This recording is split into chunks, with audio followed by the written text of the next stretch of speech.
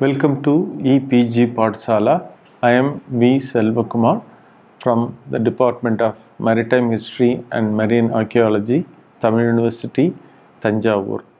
Under the subject of Indian culture, we have a paper on Indian epigraphy. Within this paper, we have a module called Epigraphy as a Source of Political History of India.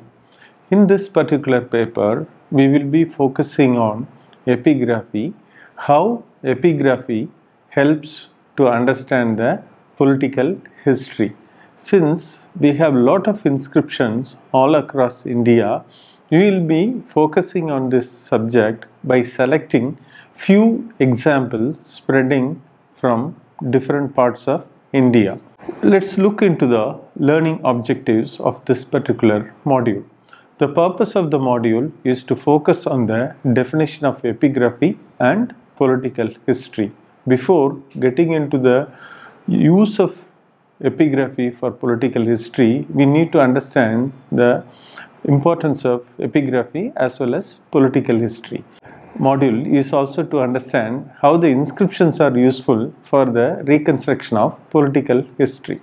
Our aim is also to know about some of the important inscriptions related to the political history of India. So, in this module, we will be focusing on all these aspects related to Indian political history with a focus on inscriptions. Let's get into the introduction. Epigraphy deals with the study of inscriptions, which are documents written on stone, copper plates, coins, and other objects. It is important for historians to be familiar with the words and their meanings and their context from the inscription. Therefore, mastering epigraphy requires knowing the concerned or related languages, for example, Kannada, Malayalam, Persian, Sanskrit, Tamil, Telugu, and Urdu. So, language knowledge is very essential for interpreting inscription. A researcher has to cross check the meaning of specific terms and their usage through the parallels in other sources and also in other languages. Suppose if we are studying an inscription of Tamil or Telugu or Kannada, it is necessary that we need to have the knowledge of Sanskrit. Therefore, language knowledge is very essential for understanding and interpreting inscriptions. Here, you, what you see is an emblem of Cholas embossed on the Leiden copper plate. So, copper plates were an important documents issued by the kings. Copper plates were issued to several people, mainly to the Brahmanas. When lands were granted to the Brahmanas, they wanted some permanent proof as a proof of ownership of the land. Therefore, it required the creation of copper plates, a kind of portable and permanent documents. If you write something on palm leaf or some other perishable materials, you can't have it long. If you etch a document on a copper plate, it remains permanent, especially when the land is given to non-local people, you get evidence of copper plates. We can also cite the example of Tharisapalli copper plate inscriptions which, which mentions about the donation of certain rights in the town of Kollam in Kerala in the medieval period.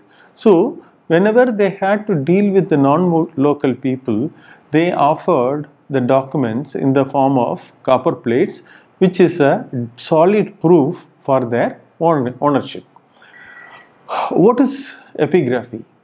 What are the components in epigraphy? Let us look into the details. Understanding the script, that is, paleographical variation and style is important for interpreting the inscriptions. One should have the quest to dig into the meaning of the words and their usage from the contemporary text, which could be literary or religious. So, therefore, epigraphical texts cannot be studied in isolation. They need to be seen in relation to other forms of text and word usage. Besides the oral and living traditions of a region which could sometimes use the words mentioned in the inscription in a modified or transformed form are also important. Therefore, apart from the uh, reading of text and inscription, one need to know the local convention that are practiced in a particular region. As the noted historian and epigraphist Noboru Karashima points out that a researcher has to listen to the whispers and murmurs of the inscription. That is very important. The inscriptions have all the sources. It is up to the researchers to use a method to extract maximum uh, amount of information from the inscription. Therefore, epigraphy is a critical study of ancient documents with sound knowledge of history, languages, literature, culture, ethnography and paleography. Therefore, we need the knowledge of all these disciplines to understand epigraphy. Political history. Before going into the use of inscription, let us have an introduction on political history. What is political history? So, we have to understand what is politics. Politics is about managing the society or a group of people. Hence, it, it has always attracted people because of the power and perks associated with it. Now we live in the age of modern democracy dictated by complex set of laws and administrative system. So our interest is to understand how these complex administrative and political system emerged over the times, how people were managing themselves in the ancient age. That is the main purpose of political history and also to understand how complex systems of administration and state and polity emerged over the time. That is the focus of political history. Politics, why people needed politics? People felt the necessity of a leader because it is very important to have a leader for a society. Without a leader, a society cannot go forward. So they felt they needed somebody to represent them, to guide them, to the leader who was a simple person in the prehistoric period became part of a complex system of polity in the later time. Actually, the leader was part of a simple system in the early period. Then, because of the social necessity, the political system became very complex and the political leader became very important with a lot of retinue and perks and a big palace and all that complex systems of rules and regulations. Political history. What is political history? The activities associated with the governance of a country or other area, especially the debate or conflict among the individuals or parties having or hoping to achieve power. These are all focused as part of political history. Politics is about managing the society or a group of people and determining their destiny. Politics has always attracted people because of the benefits that it gives to the people and also because of the importance that it gives to the people. The political system is an important subject in modern days. So, in history, we seek to understand how these political systems emerged over a period of time. What are the areas covered by political history? Political history studies the various forms of governments, how people were managed and administered through the ages, how kingship was legitimized, how state emerged as a political entity, how various kingdoms fought and established their power, how the institution called state controlled and administered the territories. These are the aims of political history. Basically, it focuses on everything related to administration of the people and control of the people and the conflicts and international relation and resolving the conflicts and offering a peaceful existence for the country and the people. Can we divide history into political, economic and cultural? Are these categories justifiables? In a sense, history is one and it should be studied holistically. But these sub-disciplines focus on certain aspects of history. Therefore, they can shed new light on multiple dimensions of history. Therefore, it is necessary that we have these disciplines such as political, economical, social or cultural so that different aspect of the society can be highlighted and focused carefully.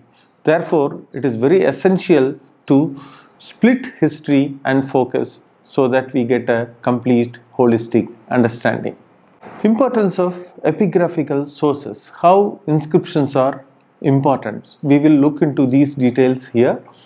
Inscriptions are valuable permanent records available for the reconstruction of history. In a sense, they are the most authentic documents that we have for Indian history. People of the ancient and medieval India felt the importance of the documents and records for their day to day activities and sought to preserve the evidence for posterity by etching the records on non perishable media such as stone and metal.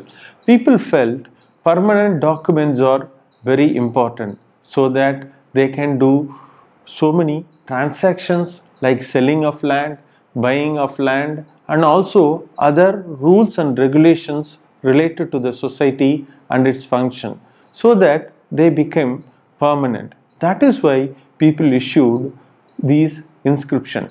In addition to that, the king and also the political system needed inscriptions as a means for recording their uh, in instructions and also to pass their orders to the regions that are located far away from the center. DC Sircar divides the inscriptions into two categories. All inscriptions do not belong to single category. The inscriptions that were directly issued by the kings, they have different character. Those issued by the private individuals, they would have different character. The inscriptions issued by the kings will have lot of details about the king and his dynasty and it would be related to an order. But an inscription issued by the private individual will only have the name of the king and his regnal year but actually it will have other details. These two kinds of inscription would offer different kind of data for understanding political as well as social, economic and cultural history. Inscriptions are uh, found in large number, especially those issued by the private individuals are found in a large number rather than those issued by the kings. Therefore, it is very important that we understand who issued a particular inscription. When a king issues an inscription, it will have a different kind of text and its structure. When an ordinary individual issues an inscription, it will have different structure and focus. So, when we take up an inscription for analysis, we have to keep in this, this in mind who issued the inscription and for what purpose an inscription was issued. Inscriptions can help to reconstruct a history in a number of ways. One of the way it, it can help is offering data on missing link or new informations. Ins inscriptions can offer new information or a data on missing link. For example, we can take this particular inscription. The king Buddha Gupta of Gupta dynasty was identified through a pillar inscription found in Eran in Sagar district of Madhya Pradesh. This inscription mentions about Surashmi Chandra who was the viceroy of Buddha Gupta. It has the Gupta year 165 which corresponds to 494-95 CE. This particular inscription helps us to understand that Buddhagupta ruled over Malwa region. If we had not found this inscription, we would have lost this particular information completely. Therefore, inscriptions can help us to fill the gaps or they can provide missing link which we may not be able to get from other sources. That is why they are very important for understanding the political history. Uh, another inscription, let us look into this particular inscription of Satrubanja from Orissa. This particular inscription was found in Asanpat village of Keonjhar district of Orissa. It is datable to 6th century CE. It is engraved on a stone slab under eight-armed Nadaraja Shiva image. It refers to the son of Maharaja Manabanja and Queen Damayanti of Naga family and he is described as Lord of Vindhyavati. Perhaps this particular name refers to Keonjhar district.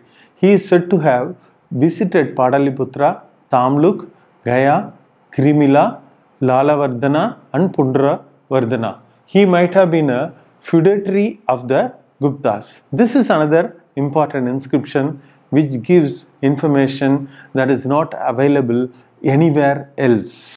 Another important copper plate inscription is Gunaighar copper plate inscription from Comilla in Bengal.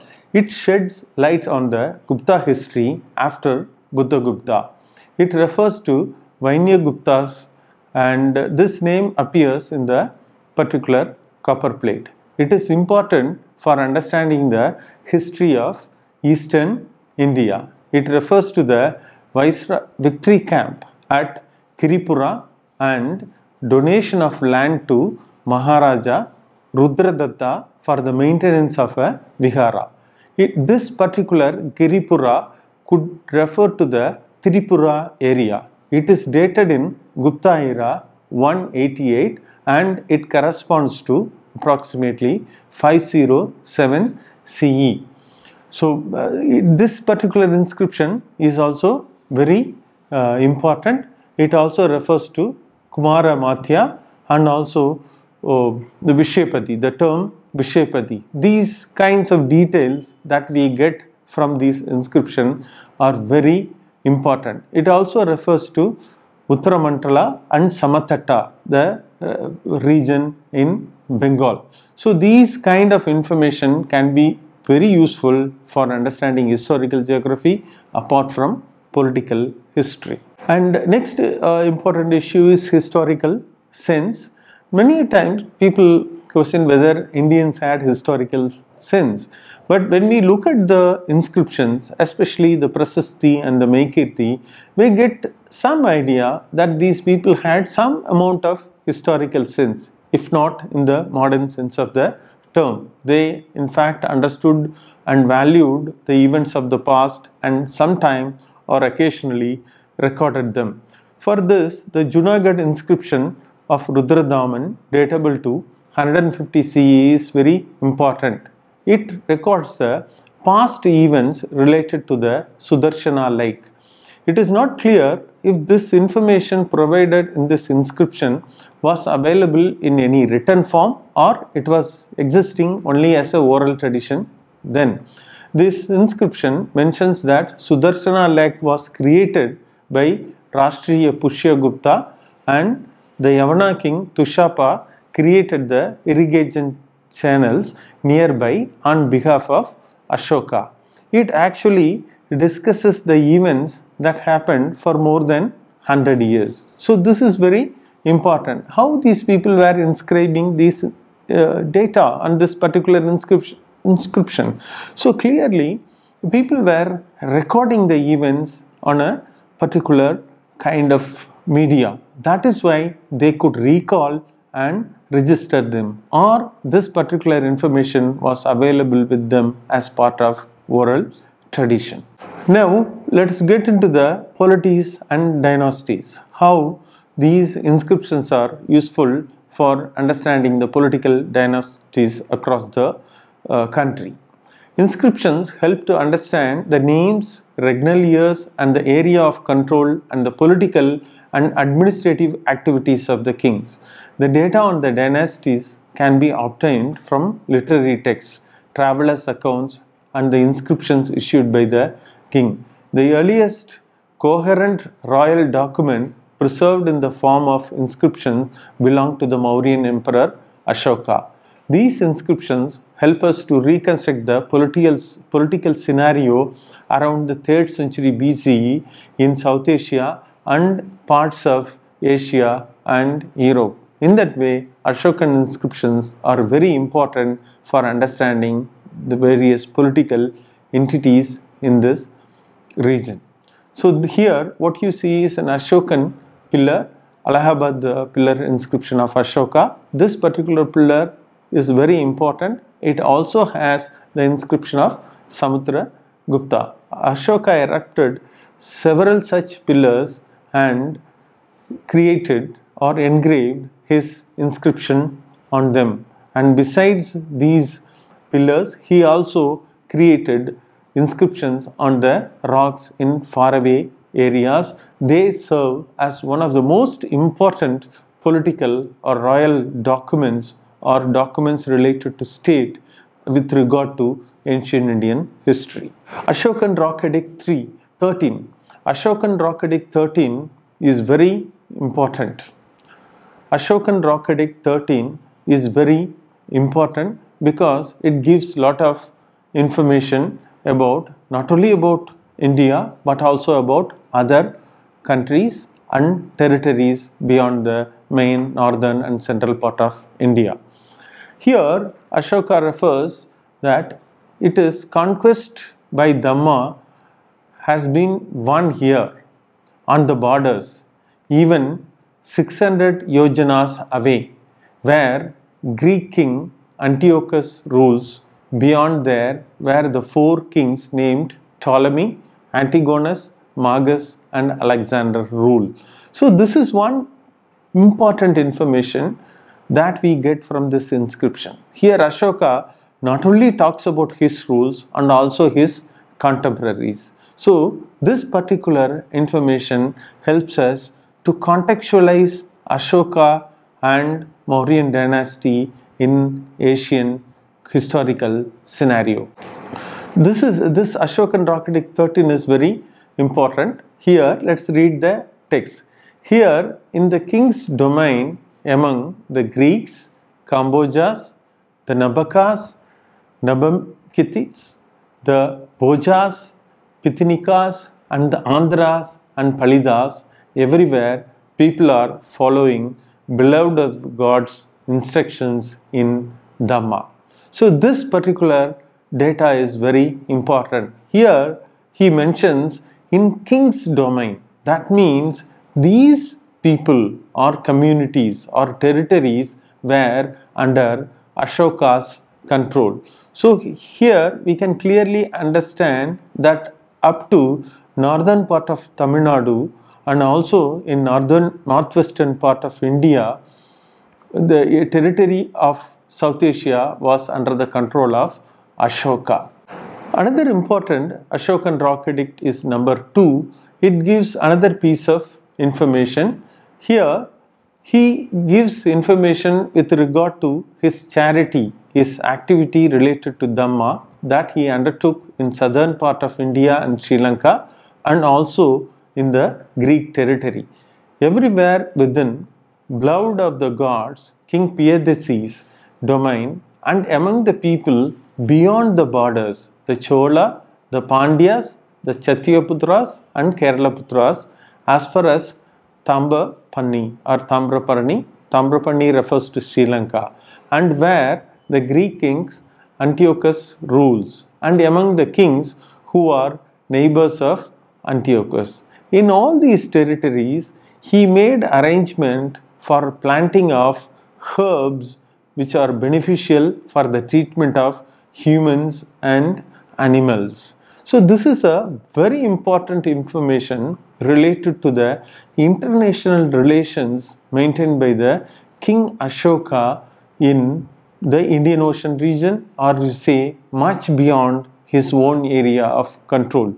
Why Ashoka has to undertake this kind of initiative? We need to think probably he was trying to build a political relationship much beyond the area that he controlled.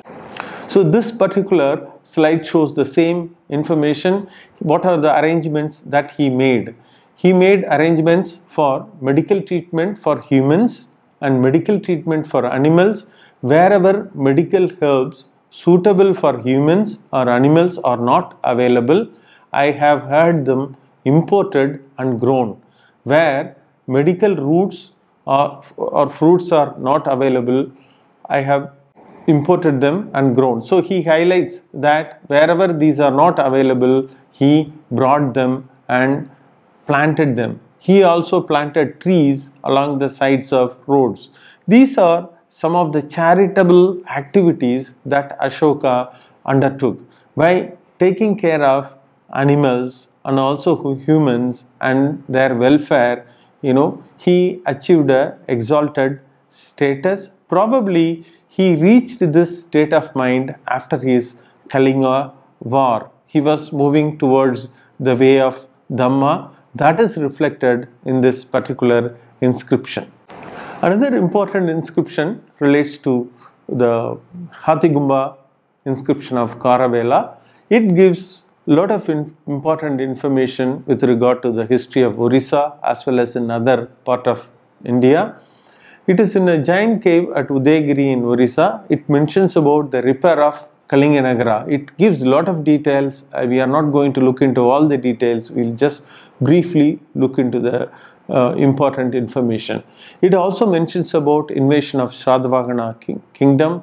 It also talks about defeat of Ratika, Bojaka and Yavana kings, invasion of Rajagriha and Padaliputra, and also it mentions about the clashes that the king had with the confederacy of kings from southern part of India. This is another important inscription from eastern India that sheds political uh, light on the that sheds light on the political history of this particular region.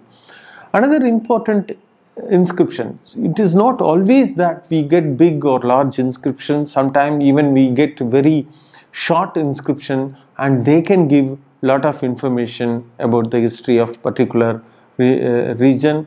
This is another important inscription from Andhra Pradesh. It is Bhattiprolu casket uh, inscription and this was found in uh, eastern part of um, Andhra at Bhattiprolu where uh, this uh, script is also very important for understanding the development of early Brahmi or Tamil Brahmi Dravidi in South India and it helps us to understand the political conditions of Andhra even though the information that it gives is very uh, minimal. This short inscription mentions about a king called Kubiraka about whom no other information is uh, available. So this important inscription tells us that a king called Kubiraka was ruling in Andhra Pradesh. We get a lot of Buddhist stupas, other Buddhist remains, but this particular piece of inscription tells us a lot about the nature of political condition in Andhra. At least it gives some information. Uh, another important inscription is of Allahabad pillar inscription of the famous Gupta king Samudragupta. This is uh, another important uh, inscription. It talks about the Prasasti uh, genre of text where the king's fame is exaggerated. You also see the development in literary style that is reflected. Uh, therefore, we get an idea not only about the political history but also the development poem and poetics that developed in India in ancient period. If you look at the uh, Ashokan inscription and compare that with this inscription, you can see sea of change, how the Kavya style has influenced the composition of this particular inscription. Here, I'll just read out a short uh, phrase so that you can understand the poetic element of this particular inscription.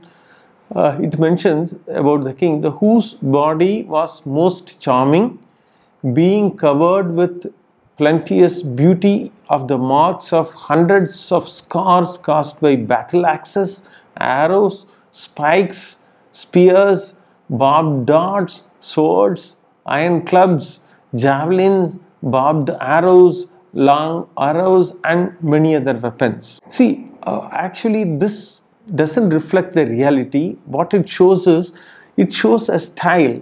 It shows a kind of exaggeration to exalt the heroic nature of the king. Here, what is in play is actually the poetic skill of the poet concerned. So, this is how inscriptions not only is to serve uh, as the source for understanding the political history, it can be also used to understand the way the text is created and it is composed.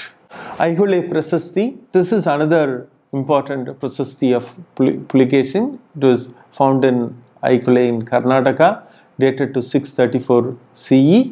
It discusses about the events covering over a century. So obviously it can be also considered as a very historical uh, document or a chronicling of event that happened for several uh, years. It talks about Jayasimha Vallabha who founded the Chalukya dynasty and his son Ranaraga, Ranaraga's son Pulakeshin who made Vadapi as the capital, his son and successor Kirtivarman I who subdued the neighboring powers such as Nalas, Mauryas and Kadambas that is mentioned.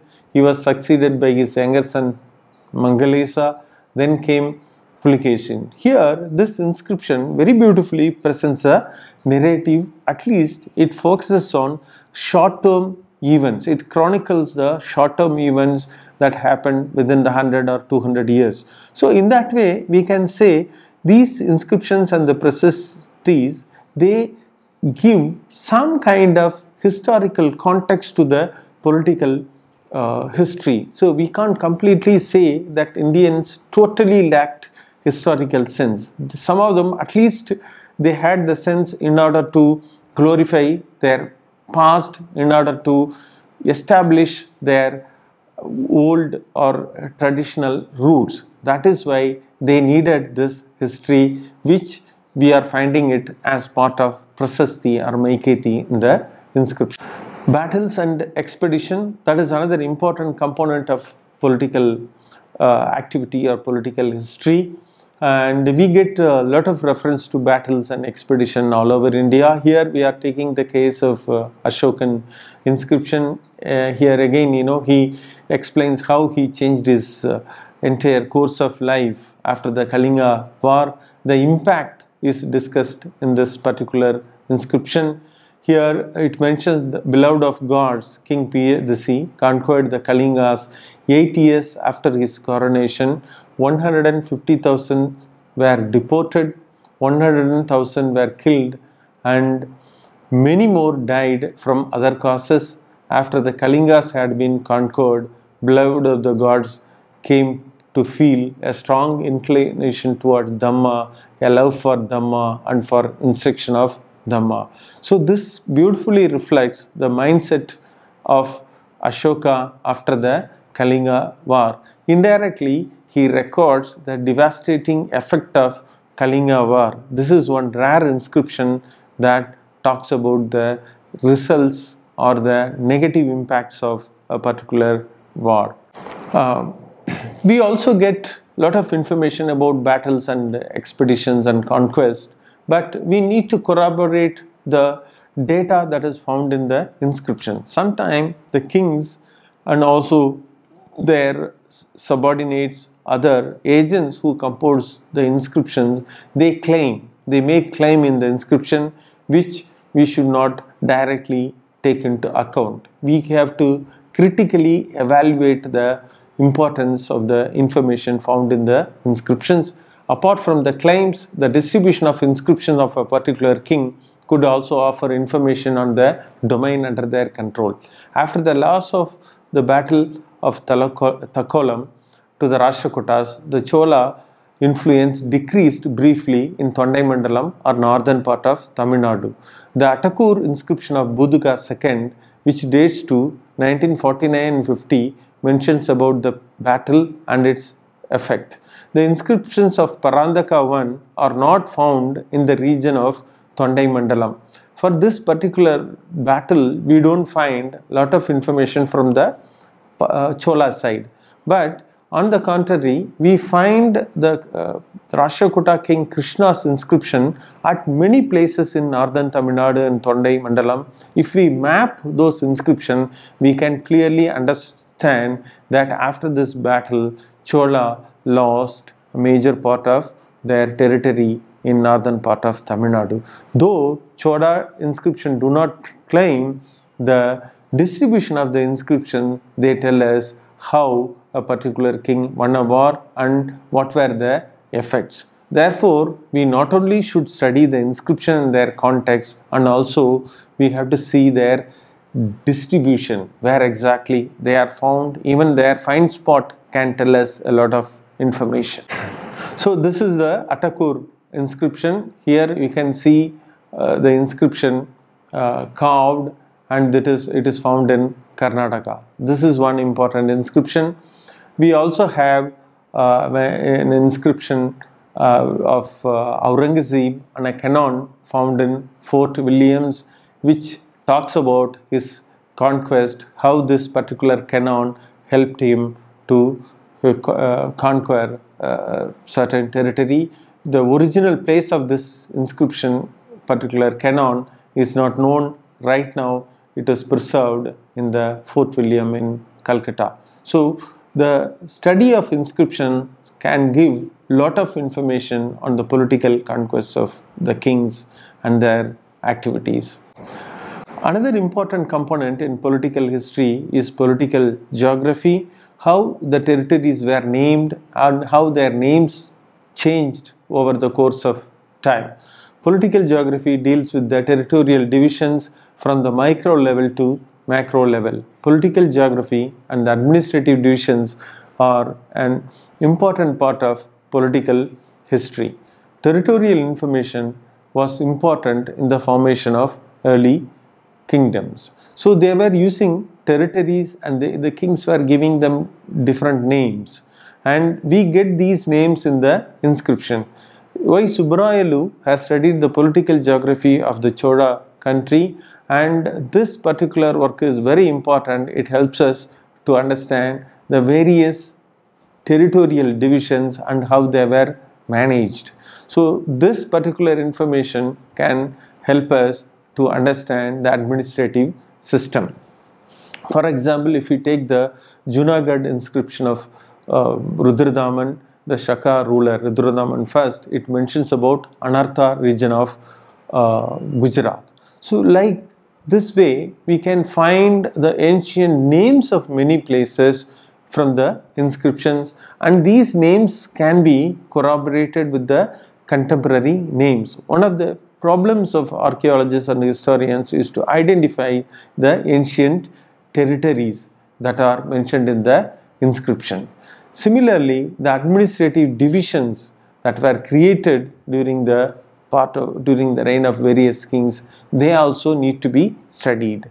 By mapping these names that are found in the inscription, we can understand how the historical geography has changed and how and why it changed. For example, if you look at the early names, they were name of the villages, they were basically named after trees or natural features. But in the medieval periods, the kings were naming everything after their names, like uh, even sometime the highways, territories were named after the kings. So we need to critically question why the kings were doing. They were trying to create something, trying to experiment with the territories and their names. They went on naming everything. Sometimes you even find the king's name in the name in the case of canals, rivers, and everything. So we have to critically question why they were naming. So the inscription gives gives us all these information why kings were naming these uh, various features and how they were naming, how these names changed over the years. The domains of the dynasties, again, apart from the major inscription, the smaller inscription, short inscription, sometimes hero stone inscription can also give lot of information. Um, we have lot of inscriptions found in the northern part of Tamil Nadu region especially during the Pallava period. Many of these hero stone inscriptions, they refer to Pallava kings, but they are related to the battles or skirmishes that happened in that local area in which the hero was killed. So, though the Pallavas were dominant in the main areas, the remote areas were not directly probably under their control or they could not interfere. So these hero stone inscriptions, which are more than 100 in number, they help us to understand the political scenario, how frequent battles were happening in this region even when Pallavas were ruling in the area of Kanchipuram or Mamallapuram. So therefore, it is very important that we need to look at these minor or hero stone inscriptions apart from the major inscription that are found in the temples. They can help us to understand the diversity of political forms that are found in a particular region. This is a particular hero uh, stone inscription found near Tiruvannamalai. It refers to a hero who lost his life and also it shows a dog which is also lost his life when it was fighting with the enemies it is associated with cattle lifting. Administration and administrative officers we also get a lot of information with related to with relation to administration administrative officers in the inscription um, we get information right from the higher level to the village level and even to the Uh, lower level administrative officers were the important component of the state machineries to understand the administrative system and the various functionaries involved in the administration, inscriptions are very useful. Noboru Karashima and Subbarayalu, they have studied the titles of the various officers, administrative personalities mentioned in the inscription and they have studied their distribution. From that, they could understand how different administrative officers appear in different point of time. So, by closely scrutinizing these administrative terms as well as administrative officers found in, in the inscription, we can understand the changes in history. Ashoka's inscription also mentioned about various administrative officers. We have reference to Yuktas, Rajuk, Rajukas and Pradeshikas. So we get a very clear idea how these administrative officers were acting in all over the territory, we can see them as agents of the government.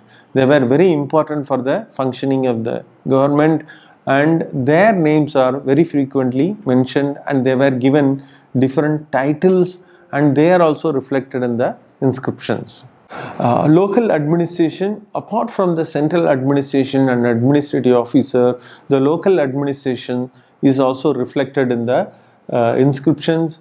Especially if you take the case of uh, Uttaramerur inscription, it talks about the village assembly, how it was organized, how the election or election or selection was conducted, and what were the rules and regulations for the uh, selecting of members for various committees.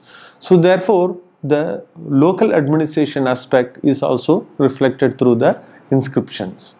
Um, with regard to administration of justice, we get several inscription. We can take the case study of Velvikudi grant of uh, Pandyas. It is a copper plate grant.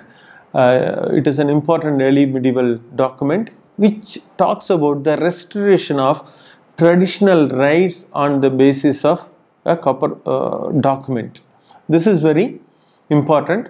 The village of Velvikudi was given to a Brahmin called Narkottan by a king named Palyagashalai Mudukudumi Peruvazhi somewhere in the early centuries of the Common Era. Then the Kalabra king, probably he defeated many kings and took away the land. As a result of that, he, the, the person lost his land. His descendant who has this information meets the king Parandagan Nedunchezhiyan and present the evidence of earlier donation and the uh, grant given to the Brahmin is restored. Here we can understand how the copper plate or other documents are very important. Here justice is restored based on the evidence document that was created. Another important point that we get also is the resistance to the land donation. We have certain inscriptions um, which refer to the resistance to the land donation to the uh, Brahmins and some of the lands which were given to the Brahmins were taken over by other group of people, then kings intervene and restore them. So these kind of historical dynamics are also documented through the inscriptions. With regard to international and diplomatic relations, we have a lot of uh, evidence. Already we saw about Ashokan inscription and his relations with the Greek. We also have another inscription found in Nagapattinam. Um, in the Nagapattinam temples we have inscription and also the copper plate grants issued by Rajaraja uh, to the uh, Buddha Vihara that was built by Srivijaya king at Nagapattinam. There is another important example of international relations. The Sri Vijaya kings comes and builds a Buddha Vihara in Nagapattinam and requests King Rajaraja for a donation and he donates the income from the village of Anaimangalam to this particular Buddha Vihara. Similarly, we also have another inscription found at uh, Nalanda with regard to the donation made, made by the Pala, Pala king Devapala to the monastery built by Balaputra Deva of Sri Vijaya in um, Southeast Asia. So these kind of international relations are also reflected in the uh, inscriptions. So coming to the summary of this particular uh, module, so we can understand how inscriptions are very important for understanding the history, especially the political history, how they offer authentic information. If we had not found these inscription, we will be in dark about our ancient history. Therefore, inscriptions can be accepted as a very important and vital source. But again, just because we have something written on a copper plate or a stone, we can't blindly believe whatever written there is true. We need to critically question. Inscriptions and uh, whether they are found on copper plate or stone, they are also created by certain agencies. They are created for a purpose. So we have to adopt internal and external criticisms to evaluate the information found in the inscription. In addition to that, we need to delve into the data that is offered, the terms that are found in the inscription by collecting statistical data, by understanding the meanings of the inscription, we can better understand the political history. Therefore, in, inscriptions are very important source for understanding the political history of ancient India as well as medieval India. I hope you understood many of the points related to the importance of the inscription. If you have any doubts or queries, you can consult the e-text or kindly log on to EPG Pathshala website. Thank you.